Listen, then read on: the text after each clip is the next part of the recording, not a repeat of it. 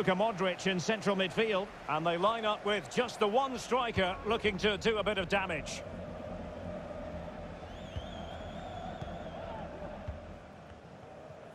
An exciting talent who has everything a forward needs to be oh, successful. Oh, big chance here, Derek.